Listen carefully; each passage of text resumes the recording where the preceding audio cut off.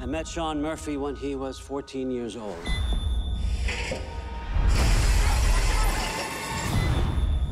He was, and he still is, an extraordinary young man.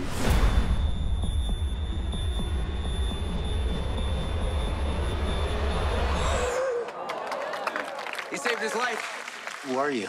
I'm Dr. Shaun Murphy. I'm a surgical resident at San Jose St. Bonaventure Hospital. You generally thought that this board wouldn't reasonably have any doubts about hiring a surgeon who's been diagnosed with autism. A surgeon needs to communicate. Can Dr. Murphy do that, knowing that a human life literally hangs in the balance? Be quiet! Nice work, Dr. Murphy. Yes, he is autistic. But he also sees things and analyzes things in ways that we can't even begin to understand.